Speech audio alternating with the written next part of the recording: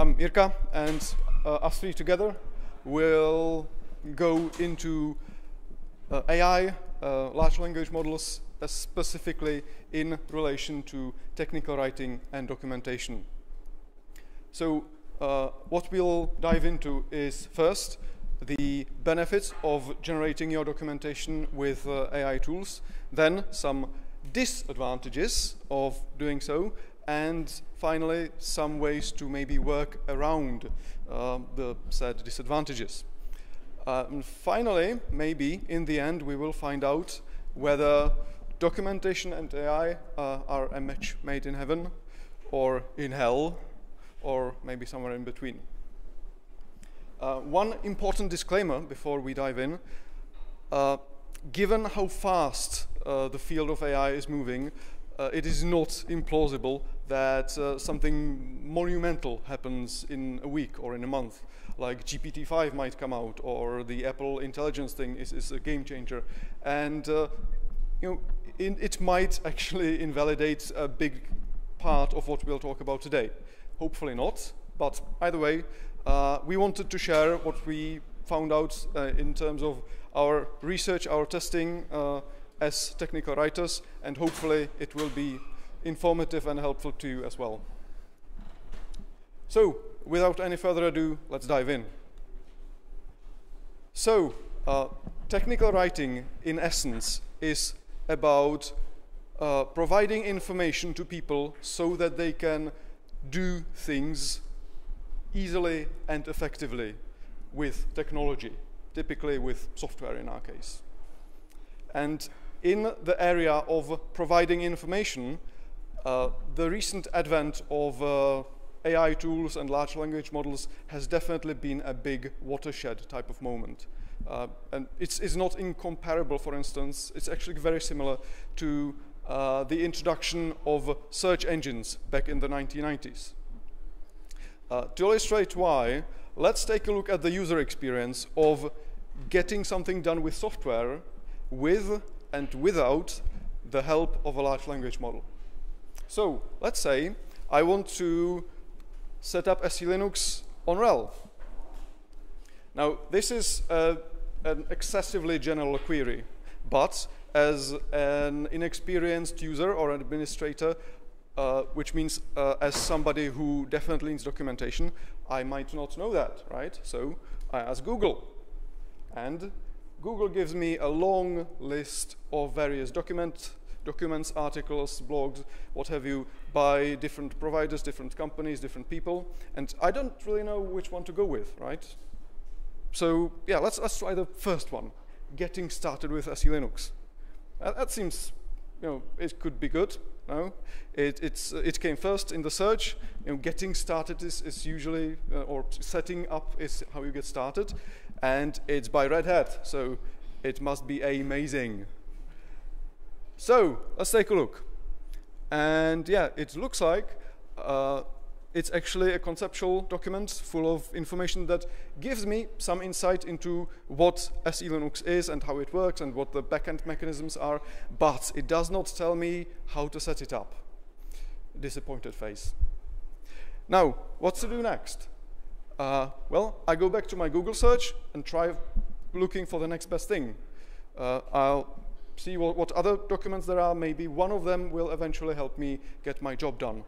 Uh, and if not, well, uh, I'll probably ask for a stack uh, on Stack Overflow, right, or Reddit. Or, or maybe I'll just give up on, on using SELinux entirely. I'm, I'm sure it's not that important anyway, right?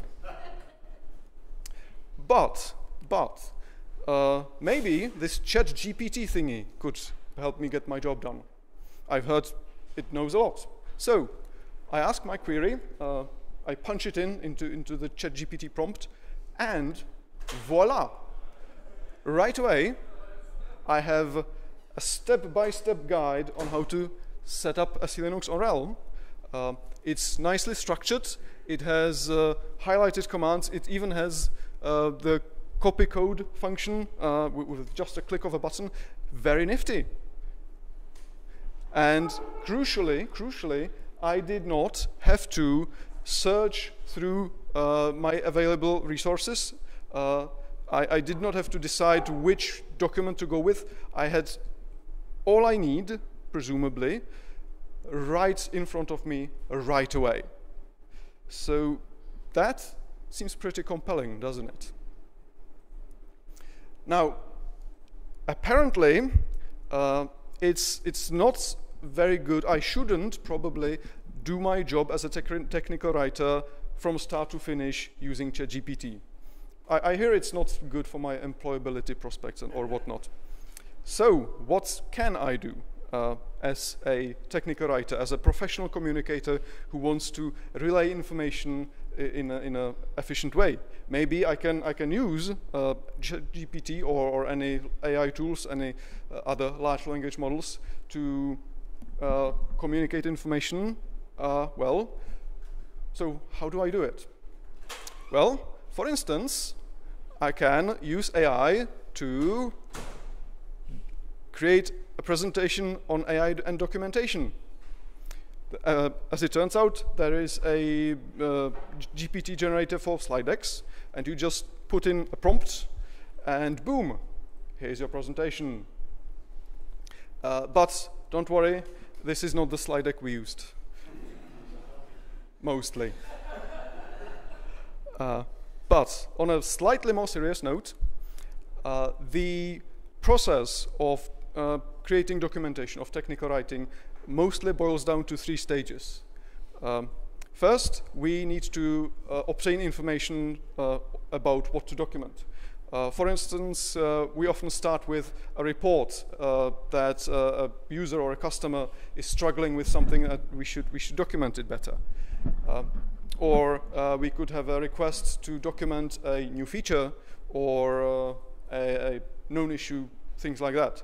Then, of course, to create proper documentation, we uh, want to become experts at the given topic or as close to experts as possible. So we do a lot of research, a lot of testing, and yeah, I forgot this, uh, and uh, generally try to get as well acquainted with, with the topic as possible. Uh, then, after we have the background information we need, we refine it. In a way that makes it uh, as helpful and is as impactful as possible. So generally, we write in a way that makes the content uh, easy to find, easy to read, and effective when it's put into action. Uh, and of course, we have a lot of reviews uh, done by various stakeholders, subject matter experts, other writers, and generally try to get it as fine-tuned as possible. And Finally, when it's ready, we unleash our content onto the world, uh, make it available somewhere on the internet uh, as, as, guides, or maybe uh, we get it integrated into the product itself uh, so that it's sort of a seamless part of the UX. Now, in theory, uh, in each of these phases of technical writing, uh, AI tools can be very resourceful collaborators for us.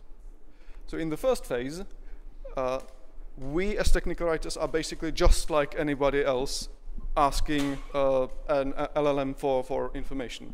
Uh, we can ask what something is, what it does, uh, or, or uh, how, how, does it work, or maybe uh, what a particularly obtuse piece of code actually does.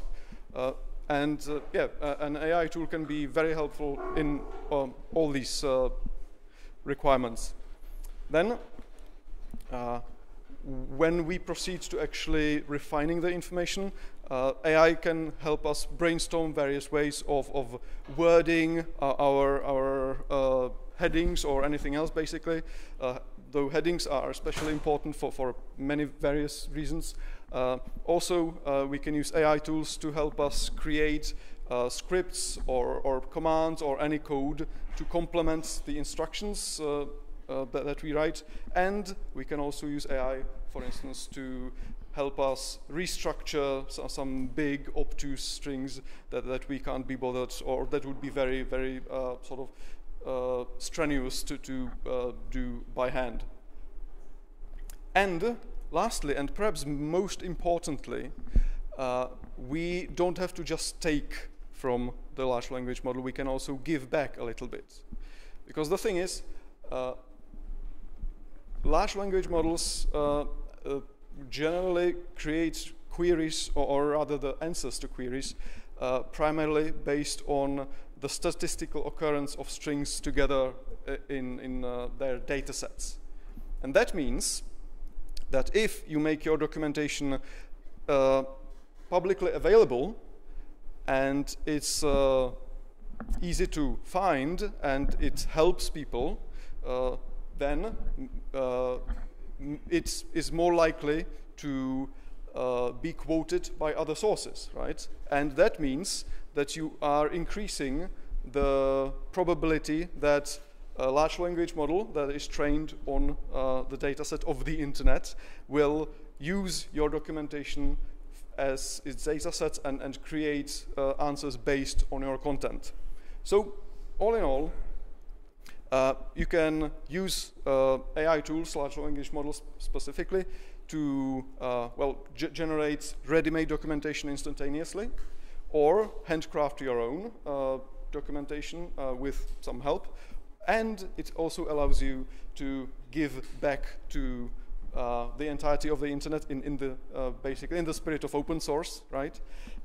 And help other users with their future uh, queries and in the accuracy of the answers they get. So that still all sounds pretty cool, doesn't it? Probably, I, I see some nodding. Uh, let's, do uh, questions and answer afterwards, all right? Uh, yeah, I, I, probably hasn't, haven't mentioned it. Uh, if we miss something, uh, please, uh, we'll, we'll be happy if you share your, your tips and insights at, at the end. So, sorry about missing that. Anyway, so, but so far it, it, looks pretty, pretty cool for, in terms of docs and AI. But uh, Robert here has been giving me some meaningful looks uh, when I was talking. But so, so, I think that he probably has something to add on that topic.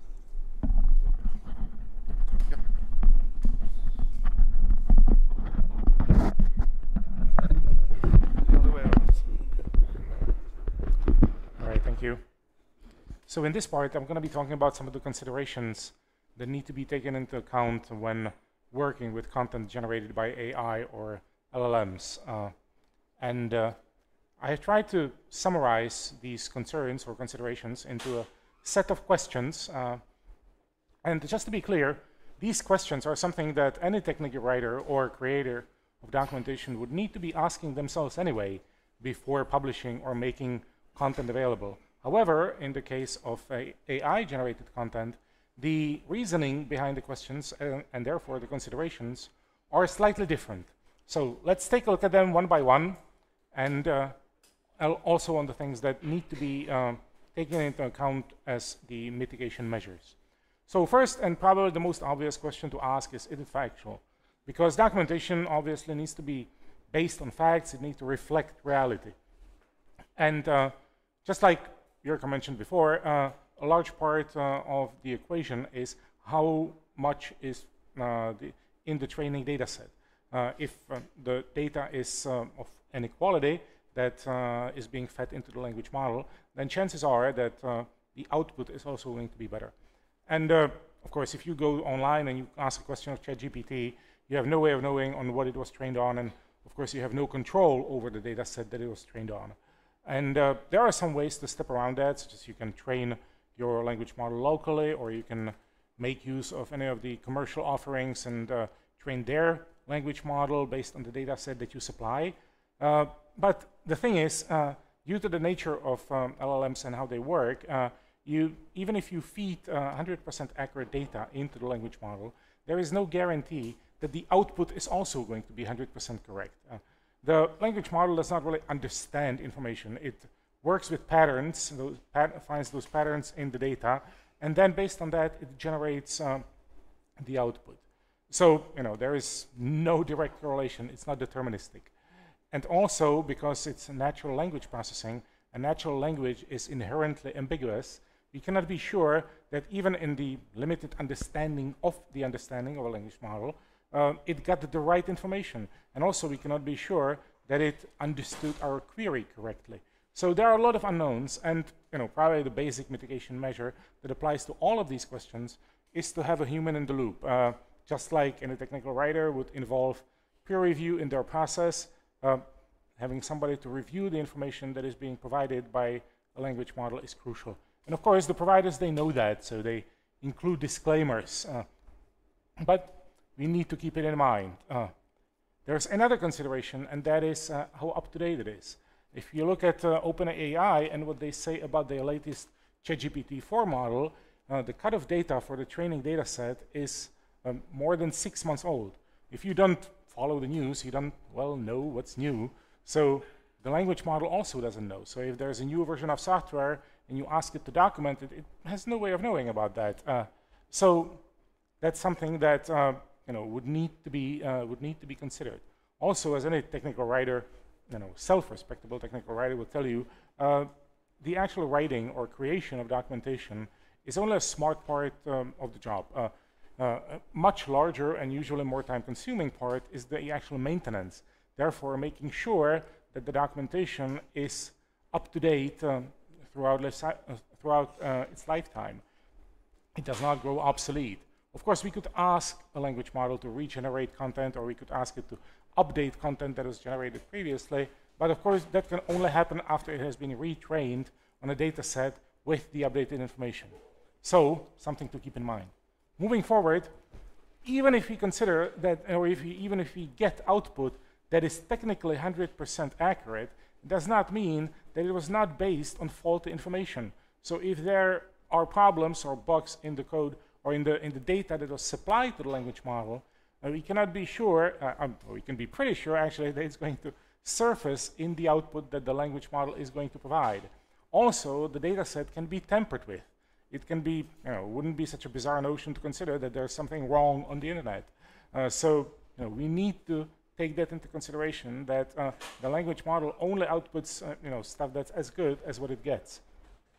And finally, in this regard, accountability. Let's say that the documentation that was created by a language model or that came out of it uh, created some problems. It uh, caused damage. Who's going to be held responsible?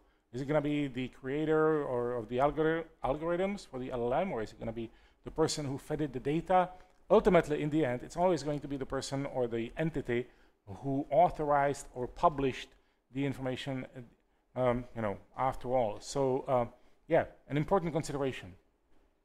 The other questions can all be sort of summed up after the legality question. Is it legal? Uh, not only can the generated content contain sensitive information or confidential information or you know, customer information, uh, there's also the question of licensing and attribution, you know, copyright in general. We cannot really be sure, um, you know, what the data that was consumed by the by the language model, you know, was it copyrighted? Was it licensed in some special way? Um, also, you know, compliance comes into mind, um, legal uh, considerations such as GDPR. And uh, if, um, you know, as I touched upon before previously, uh, the liability or responsibility, uh, if we take, uh, you know, all precautions and we do due diligence and we publish information that was based on content generated by LLMs and uh, it's okay, what about if we do, for example, a chatbot that's based on our documentation? That way, we cannot be sure what the generated information is going to be at any particular moment in time. It's also going to depend on the queries. So then the liability comes into question. And the ethical considerations, those are, again, um, you know, quite important because uh, due to the generated nature of LLMs, uh, it can do such things as if, if there is a bias involved uh, in the data set, it can amplify that bias. So, you know, it's going to be, you know, a bit out of hand. Also, it can you know, output non-inclusive language or things like that that does not really understand. And then there's the question of transparency because, uh, of course, we want to, you know, it's not only attribution, but we want to make sure that uh, if some content is generated by AI, then the person consuming the content would know about that, that there would be a distinction. So all of these questions, none of them are showstoppers, none of them are obstacles that could not be overcome, uh, but they need to be considered and they need to be kept in mind when working with the content that was, you know, that where AI was uh, involved in the generation of it. But over to Dominika, who's going to talk about uh, some of the practical ways to use uh, LLMs. Thank you, Robert.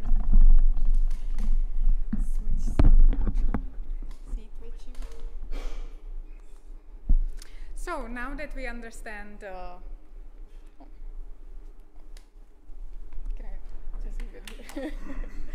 now that we understand the capabilities and limitations of uh, LLMs, we know we cannot trust uh, whatever they generate.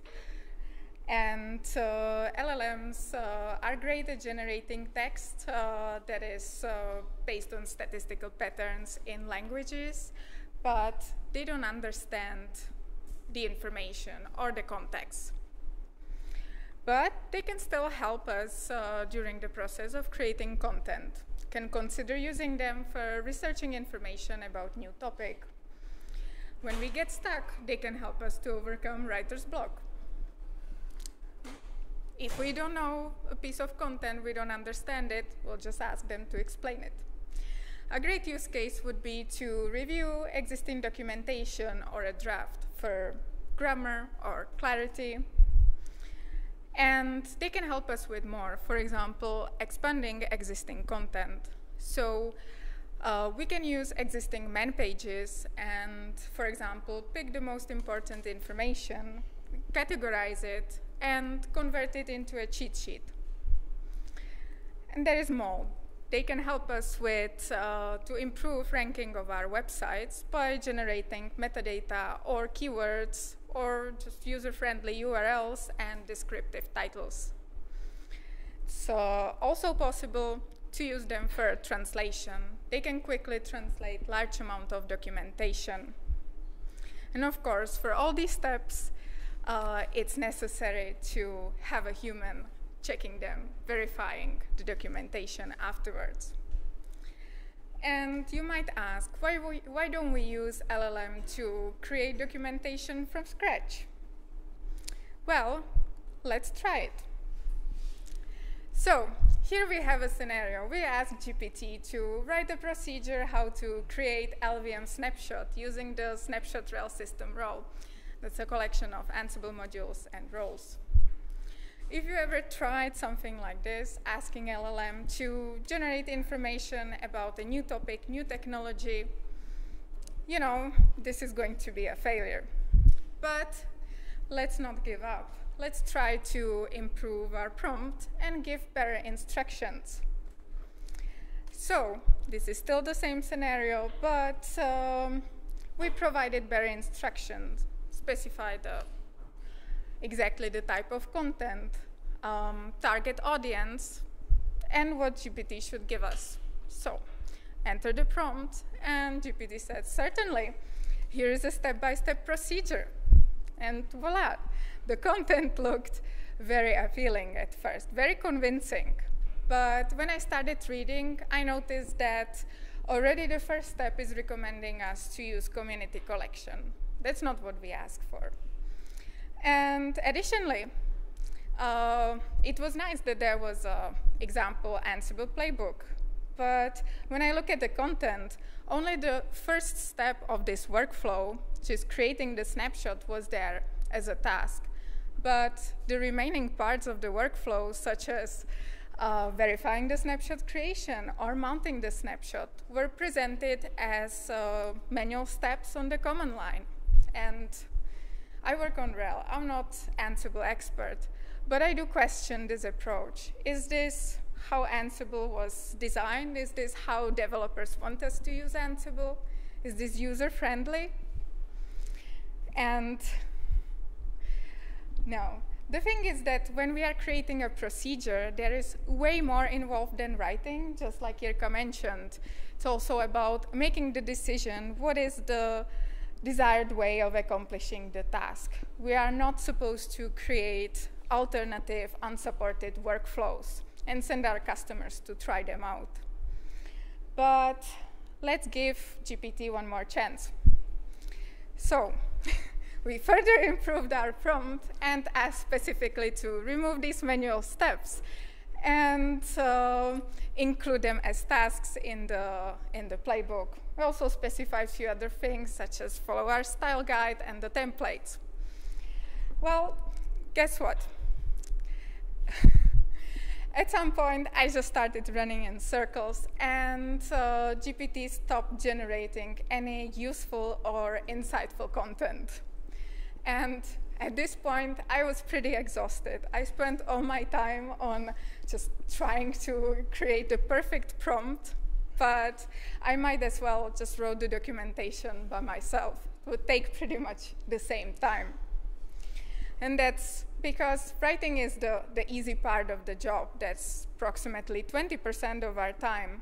But the remaining parts, such as gathering the information, interviewing our stakeholders, discussing with engineering and support how things should be done, making those decisions, that's not something we can delegate to LLMs or GPT. So yeah, they are here just to restructure, refine existing information, but this is a part that requires human input. So creating a new procedure did not work, but let's try a different approach. That's we moved several steps ahead in our content creation workflow. Uh, we researched the information, we tested the procedure, we have a solid draft and uh, we are going to ask uh, GPT or LLM to review our documentation and focus on things such as grammar, clarity, the tone of it.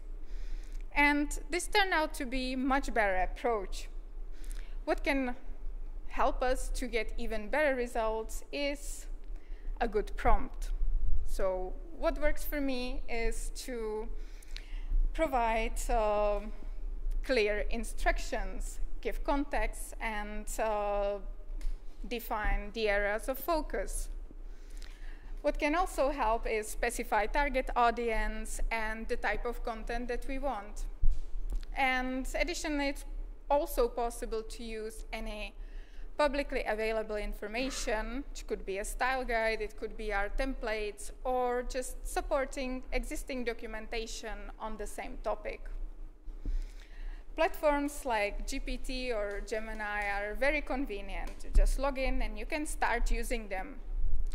But uh, in some situations, we might want to go beyond and uh, consider maybe deploying a local LLM on our laptop or on cloud and using, for example, Llama for free, even offline, have uninterrupted access and uh, also control over the data we enter, which is really important for enterprise technical writers. Um, we can also choose from variety of the modules, and some of them even led us to contribute to their development. Uh, if um, this is not enough, there is also possibility to go with fine-tuning.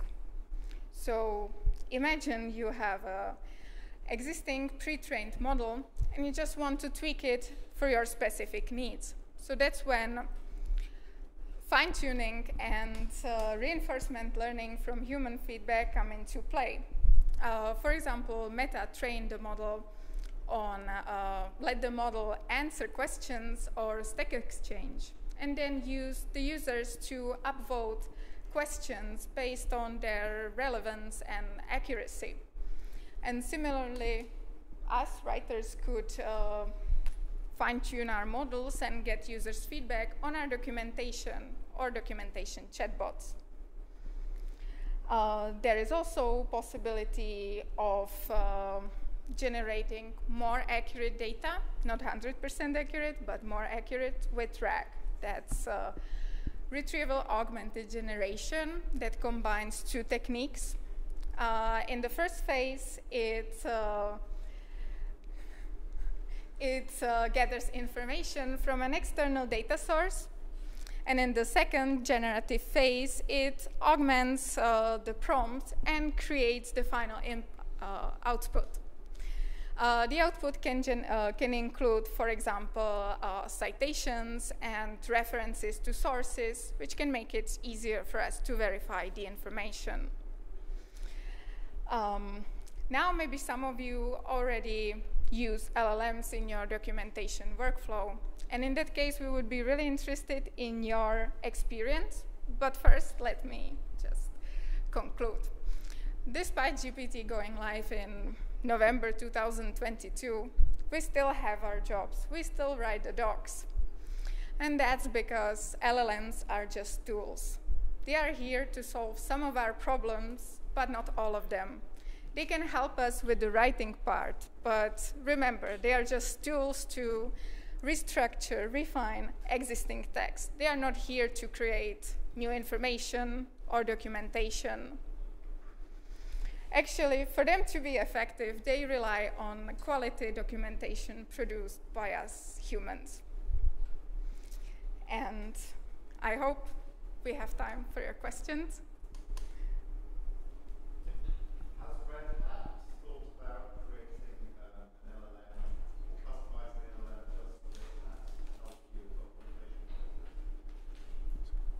Okay, so the question is uh, whether Red Hat has thought about creating our own LLM.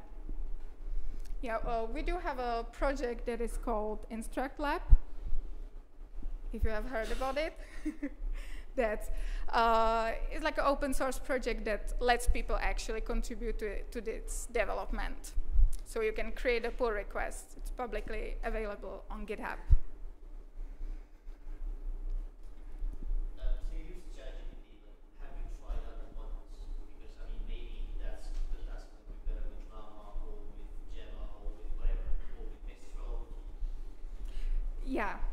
So the question is whether uh, we tried um, something else than GPT. Yeah. yeah, or just the, the available like chat platforms. Yeah. Uh, I have tried Llama with Mistral and uh, fine tuning it. Um, and for me personally, it was very time consuming and the outcome was not really what I expected. Uh, if we would work with some specific data set, our existing documentation, we might get better results. But in this case, it was too generic. And like for me as a writer, I really don't use uh, LLMs to produce docs and